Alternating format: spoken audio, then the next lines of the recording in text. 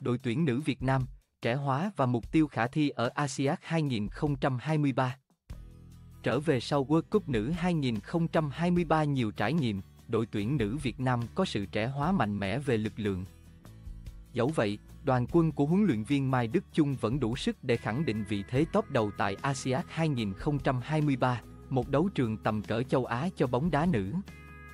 Bài toán không huỳnh như của đội tuyển nữ Việt Nam So với World Cup nữ 2023, đội tuyển nữ Việt Nam sẽ không thể có sự phục vụ của đội trưởng Huỳnh Như tại ASEAN 2023.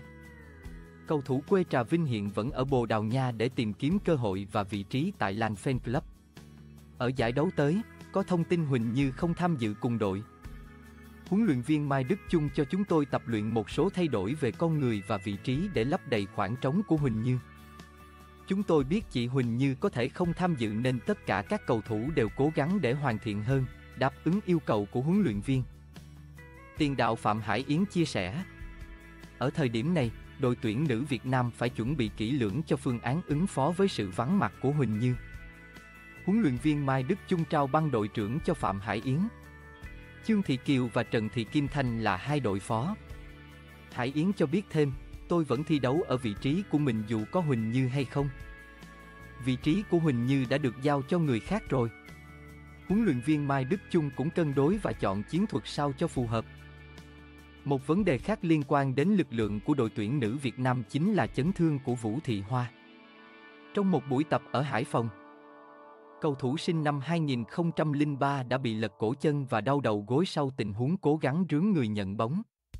Chấn thương này khiến Vũ Thị Hoa không thể thi đấu tại Á vận hội sắp tới. Cô đã nói lời chia tay với đội tuyển nữ Việt Nam. Nguyễn Thị Tuyết Ngân nhiều khả năng sẽ là cái tên trám vào vị trí của Vũ Thị Hoa. Hiện tại, Tuyết Ngân đang cùng các đàn chị tập luyện tích cực tại Hà Nội trước khi bay sang Hàng Châu. Theo lịch trình, ngày 19 tháng 9 tới, toàn đội sẽ lên đường sang Trung Quốc để chính thức bước vào giải đấu. Trẻ hóa lực lượng một tuần ngay sau khi trở về từ New Zealand, đội tuyển nữ Việt Nam lập tức hội quân để chuẩn bị cho ASEAN 2023. Đáng chú ý, trong số 25 cầu thủ chuẩn bị cho ASEAN 19, 11 cầu thủ sinh sau năm 2000 như Phạm Thị Lan Anh, Hà Nội. Trần Thị Duyên, Nguyễn Thị Thùy Linh, Phong Phú Hà Nam được trao cơ hội. Đây là điều nằm trong kế hoạch dài hơi của huấn luyện viên Mai Đức Chung. Trong việc chuẩn bị tương lai kho đội tuyển nữ Việt Nam, ngay cả khi ông nói lời chia tay cương vị huấn luyện viên trưởng.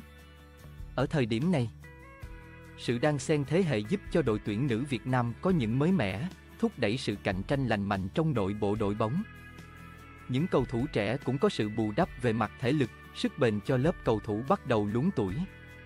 Nhờ vậy, huấn luyện viên Mai Đức Chung có thêm những tính toán, điểm rơi cho từng giai đoạn trận đấu. Danh sách đội tuyển nữ Việt Nam dự ASEAN 2023 cập nhật đến 18-9. Mục tiêu vào tứ kết ASEAN 2023 của đội tuyển nữ Việt Nam có khả thi.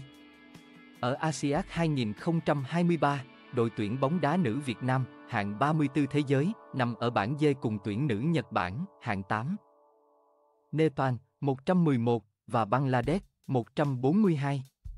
Theo lịch thi đấu, thầy trò huấn luyện viên Mai Đức Chung sẽ lần lượt gặp Nepal ngày 22 tháng 9, Bangladesh ngày 25 tháng 9 và Nhật Bản ngày 28 tháng 9. Đây được xem là lịch thi đấu thuận lợi cho các cô gái Việt Nam khi họ sẽ chạm trán lần lượt các đối thủ ở cấp độ nhẹ. Trước khi đối đầu với ứng cử viên cho chức vô địch là tuyển nữ Nhật Bản. Tất nhiên, trước một Nhật Bản tham vọng và đưa đội hình mạnh nhất, cơ hội giành chiến thắng của Việt Nam là rất thấp. Do đó, nhiệm vụ mà huấn luyện viên Mai Đức Chung đặt ra cho các học trò là bằng mọi giá cần có được 6 điểm ở hai lượt đầu tiên. Nhằm đảm bảo mục tiêu vào tứ kết,